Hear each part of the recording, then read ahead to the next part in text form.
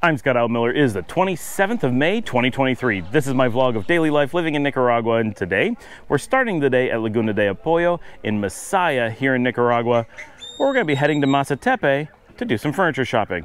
Get to it right after the bump.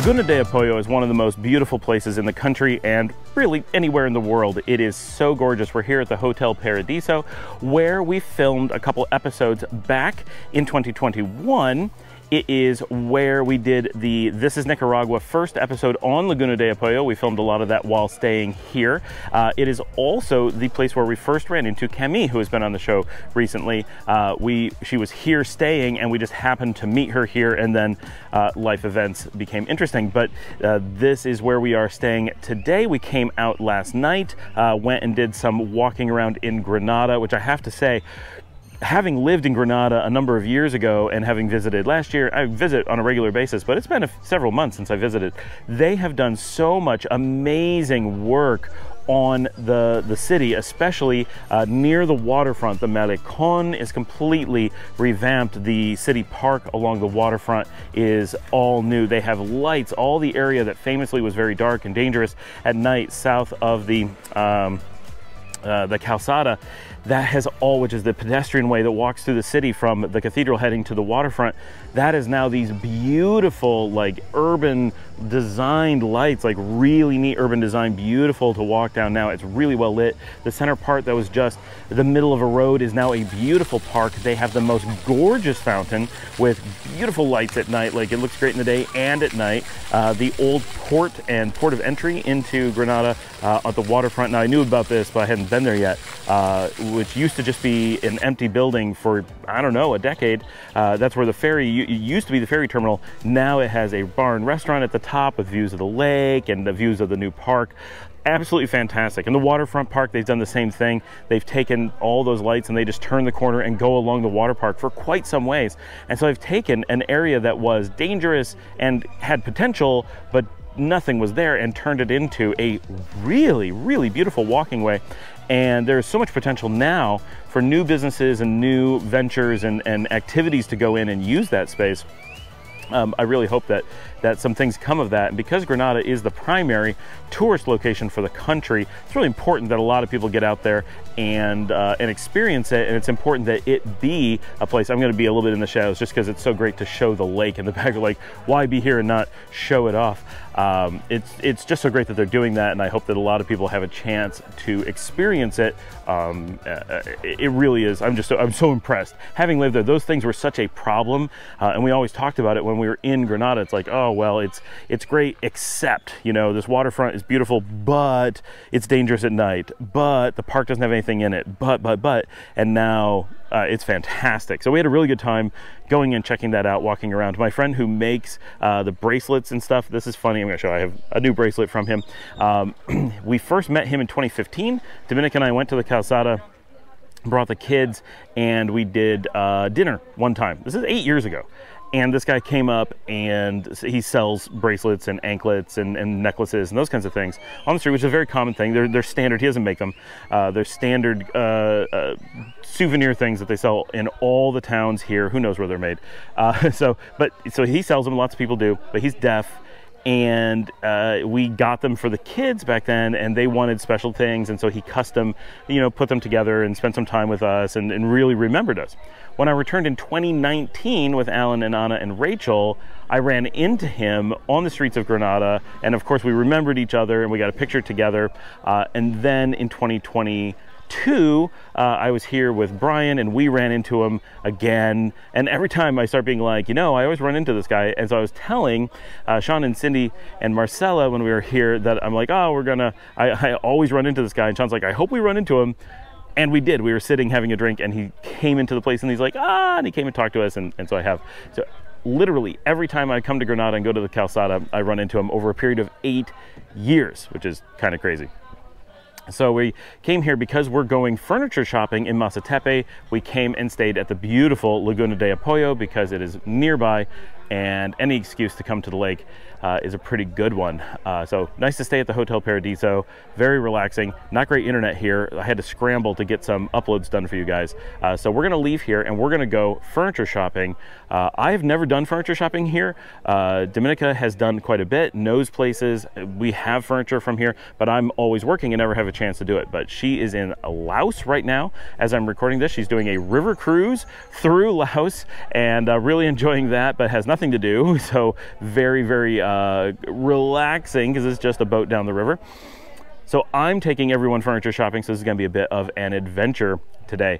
Uh, I do want to note, just as a channel thing, I have a few people who are constantly telling me, and today specifically, I have more people saying that yesterday's show, the 26th, uh, they really love the bump on the show. And then I've had a couple people, not as many, but uh, more than one, who have said that they don't like the bump or that they are indifferent and, and it could go, but it's they feel it's kind of wasting time. Um, but I had these comments one right after another. I hope I'm able to screenshot them, that they're in a position where I can screenshot them together and show that it's one right after another, saying that I, they really like the bump or I need to dump the bump all at the same time. And it's like there's there's just no way I can keep everyone happy. Um, my plan is, for those who don't like it, I'm sorry, but I plan to keep the, the bump because I really enjoy, one, uh, that I have a standard format that gets the show going. Um, it helps me kind of just market. It, it, it, it, makes my workflow actually a slightly easier, even though it does take a little bit longer. Uh, but I like being able to pick out the music and having a little bit different tune every day. That's just fun. Uh, and it kind of gives me excuse to have a lot of music services because I use multiple music services to do that which is very expensive, but I need an excuse for having them. Um, and honestly, it does make the video just that extra 15 seconds longer, which is a big thing for YouTube. Um, it, it, helps make the show uh, work. So uh, it, right now, as long as the, the, majority of people I get are, wow, I really like the bump, or it's a good one today, or I enjoy having the bump, whatever, um, it's ah, it's tough. I can't please everyone. I'm sorry. I don't try to ignore people, and it's just, it's hard to adapt. Some people prefer longer shows, some prefer shorter, some like me talking, some like me showing. Like everyone has a different thing, and I try not to change the show too much because you guys are here because you like what we're doing, but I also do try to tweak when I can for what you guys are looking for. So leave your comments, let me know, but uh, let's head on off to Masatepe. I think it's gonna be pretty cool. This is the parking lot of the Hotel Paradiso, and we're heading out of Laguna de Apoyo. I wanted to bring a little bit of this trip to you guys because I know a lot of you don't watch our sister channel Drive Warp.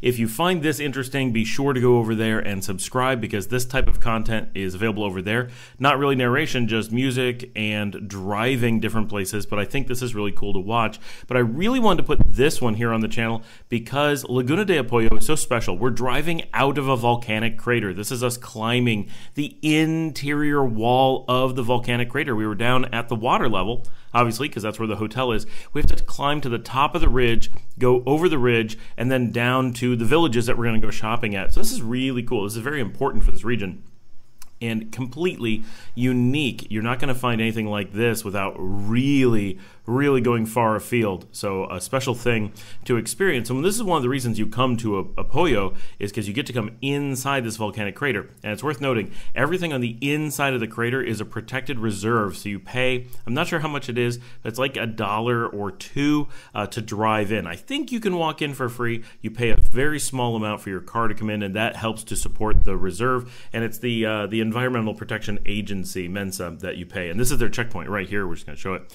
And uh, we have to pay everything to leave, but we had paid to go in the night, be- night before. This is the drive down the outside of the volcano. So now we're heading down the flank.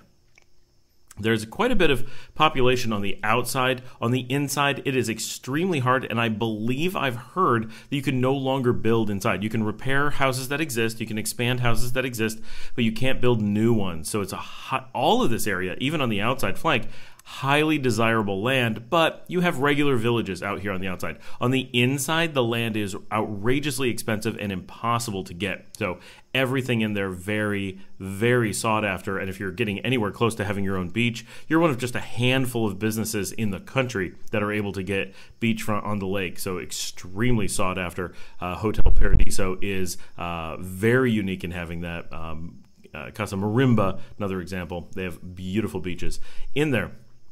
So this is a really cool drive. It is a little bit annoying. It's hard to tell from the video. This is kind of a tough drive. All the traffic makes for extremely tight streets. Oh, that was perfect timing. And then you come out on the highway, and this is a beautiful new highway that they just put in. I've only gotten to drive this a couple times, uh, and the last time I was at Apoyo, they didn't have this. So this makes the entire journey through Apoyo and all the outer Masaya areas just so much more accessible. This is us going through the first of the Pueblos Blancos, and we're heading into that region. So every little thing we come past here is a little village where they're doing crafts and different things. So this part absolutely easy as can be, super easy drive, simple, uh, straightforward. You're not going to get lost. But going into the crater, that's some you know hard driving. Uh, we're coming going to come through the village where Sandino himself was born, right there. Uh, hard to see it fly by, and we're coming into Masatepe then, where we're going to go do some furniture shopping with Sean and Cindy as they look to furnish their home in Las Penitas. All right, we made it out to Masatepe. It's pretty loud on the road and they're playing music across the street, so I'm gonna do my best to knock that out. But this is the Village of Furniture. Masatepe is famous. It's one of the Pueblos Blancos, or white villages, uh, also known as the witch villages in Masaya, it is seriously loud. They've got a Ferretería, a hardware store, just blasting music this direction. And uh, I'm going to see if I can walk another way. But we're here at Muebles Lilium. Now, these are, Muebles is a furniture store. And in the case here, these are furniture factories. So they're actually making all their own furniture and selling it right here on the spot. So it's uh, it's a different experience than you can get in the United States where you're just seeing a showroom in most cases. This is uh, maybe 50 factories and showrooms here in Masatepe. This is the one that we really like. Uh, we've had good experiences there and we bought a lot of furniture here. Uh, and so I'm gonna walk over and hang out with this dog who is being quiet unlike everyone else. Hello! And this is a, this is a cute little place right here. We have to check that place out. And uh, so everyone in Nicaragua comes here for furniture shopping. That is what you do. It's a big part of the Nicaragua experience. If you're coming to see uh, uh, just how people live, if you're coming to do uh, shopping for something really meaningful to send home, or if you live here and you want furniture, you're probably going to come to Masatepe. There are a few other places that you can do some decent shopping, such as in Masaya itself. But if you go to Masaya, you're tending to get showrooms, and Masatepe is where the factories are. There are many generations of family artisans here who make handmade furniture and that knowledge and experience and everything gets passed on generation to generation. Uh, our uh, store here, Muebles Lilium, she is part of a furniture making family. Her mother had a furniture factory. She taught her and her sister how to make furniture. They've been making furniture like this their entire lives. Each of them has their own factory here in town now. Uh, and because of the way it works, if you wanted to be an artisan here in Nicaragua in furniture, you would effectively need to move to Masatepe in order to then get people to come to you because people will always look for Masatepe because that is where the artisans are. So it's not that you would have to be born into like that would help obviously but you don't have to be born into it but if you want to operate a store it makes sense to operate it here because the supply chain the the customers everything is already coming here. It's not such a big country that everyone can't just drive to Masatepe to do their furniture shopping so everyone does. So you can just drive down the street and it's shop after shop after shop and you can see all these places one right after another and look at many different options styles and makers and prices all very quickly.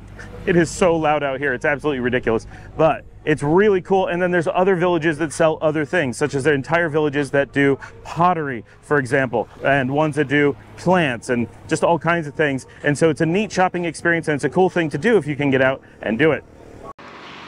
While we're out driving to go look at furniture, we came through Monimbo, which has a big circle. It's just part of the highway. But I want to walk out and show how beautiful this highway is through the witch villages now. This is all very new. This is Masaya in this direction with the truck that's going to run me over.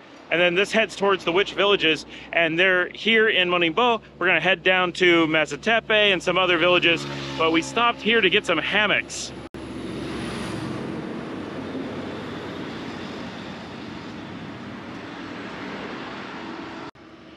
Hammocks are a very special thing in Nicaragua. They're part of everyday life. Everybody uses them. Everyone has them. Every house is full of them. And you can buy them anywhere in the country, but coming out here to the Witch Villages is one of the best places to get the highest quality and best prices and best selection.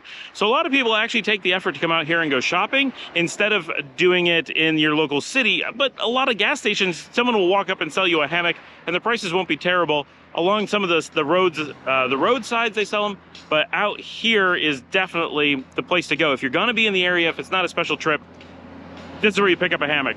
Part of the fun of shopping in Masatepe or in any of these villages is you're driving down the road and you simply see stuff that you like and you stop as you're driving along the road. Uh, so there's a ton of places, they all sit directly you don't have to do anything, right? You just look out the windows. They have everything lined up against the sidewalk, and uh, you just pull over, see what you like, and you can just go from place to place. You can walk, you can drive, uh, you can see a lot of stuff really quickly, and that's why it's so popular. To do this here is everyone is in one town, so you can come do furniture shopping and spend the whole day in one town and see 20, 30 places with a lot of similar stuff, but each one is unique as well. They're all handmade, uh, so you can really get variety all in one spot. It's really cool experience. Furniture shopping really was a lot of fun. We had a good time and got to check out a number of stores and a bit of variety, and they managed to buy all the furniture that they needed for their house. It really was a successful trip and uh, an interesting look at Nicaragua. If you'd like to support the channel, remember to buy me a coffee at buymeacoffee.com slash Scott Alan Miller. If you'd like to uh, reach out and get help with uh, potential moving, relocation information about Nicaragua, hit us up at info at relocatenicaragua.com. As always, like, subscribe, tell your friends about the channel, share on social media, and I will see all of you tomorrow.